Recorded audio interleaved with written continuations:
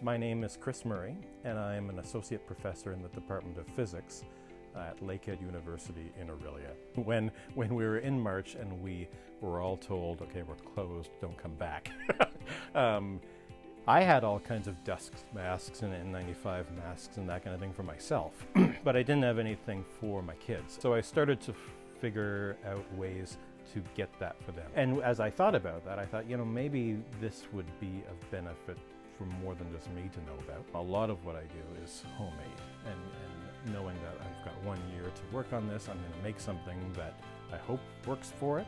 It costs very little and I know exactly how it works because I'm the one that made it. We would warm up sheets of any kind of plastic we would find, cut from a container or whatever, warm it in a toaster oven, suck it down onto a mold that um, we made, and that would be the beginning for the mask body.